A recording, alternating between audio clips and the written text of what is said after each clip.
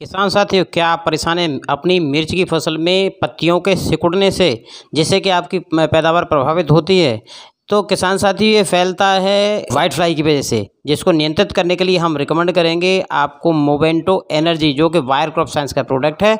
और बात करें इसमें टेक्निकल की तो टेक्निकल है इसमें स्पायरो टेट्रामेट ग्यारह परसेंट, साथ में एमिडा क्लोपेट ग्यारह परसेंट, और ये जायलम और फ्लोएम पे काम करता है। साथ में इसकी मात्रा की बात करें तो मात्रा इसको एक एम से डेढ़ एम पर लीटर पानी के हिसाब से शाम के समय स्प्रे करें। निश्चित रूप से आपकी इस समस्या का समाधान हो जाएगा।